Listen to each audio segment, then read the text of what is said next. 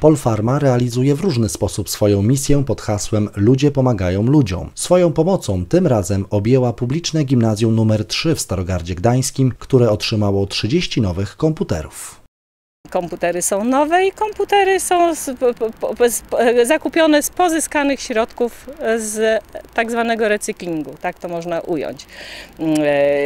Cieszymy się, że, że przez kilka lat ta szkoła będzie miała spokój ze sprzętem, że młodzież ze Starogardu a jest to młodzież też i spośród naszych pracowników e, tutaj dzieciaki też się uczą, no to, że, że w godziwych warunkach e, prowadzona przez dobrych nauczycieli na dobrym sprzęcie, no to niechże osiąga dobre wyniki w nauczaniu. Nie jest to jakby faworyzowanie jednego gimnazjum. E, inne szkoły też dostają różnorakie wsparcie, no ale szkoła też nieraz no, musi musi też i zabiegać o to, żeby mm, e, postarać się o to, tak, e, żeby taki sprzęt dostać. I dla gimnazjum numer jeden akurat szykujemy, już tutaj o tym była mowa, będą kupione klocki Lego, takie, które będą zaprogramowywane przez młodzież i też będą służyć nie zabawie, a nauce, edukacji. Komputery zakupione przez Polfarmę rozwiązały problemy dotyczące odpowiedniego wyposażenia pracowni szkoły.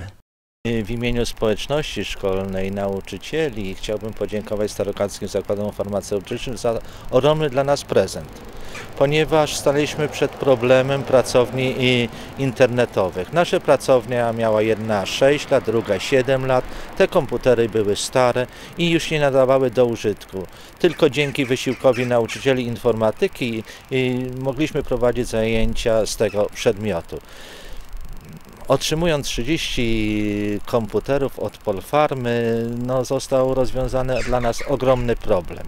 I ja bym chciał ze swojej strony podziękować też e, panu Piotrowi Szopińskiemu, który e, podsunął mnie ten problem, podsunął, e, zaangażował się ogromnie w, w realizację tego projektu ponieważ razem zastanawialiśmy się, co zrobić z pracowniami internetowymi.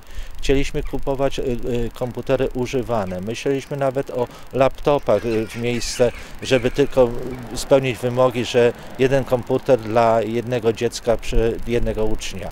A pan Piotr mówił, że zaproponował, żebyśmy się zwrócili do starogarskich zakładów farmaceutycznych z prośbą o pomoc w tej kwestii. I myślę, że pan Piotr więcej powie o samej tej procedurze, o tak jak wspomniał właśnie dyrektor, dzięki temu, że udało nam się w jakiś sposób y, pozyskać życzliwych nam ludzi w Polfarmie, dlatego że mogliśmy y, otwarcie powiedzieć, w czym leży problem, że na sprzęt komputerowy, nad którym pracujemy, czy albo inaczej próbujemy pracować, nie nadaje się do użytku, a jednocześnie, to co wspomniał też dyrektor, nie ma wymogu jeden na jeden, więc zwróciliśmy się z prośbą o dofinansowanie takiego zakupu.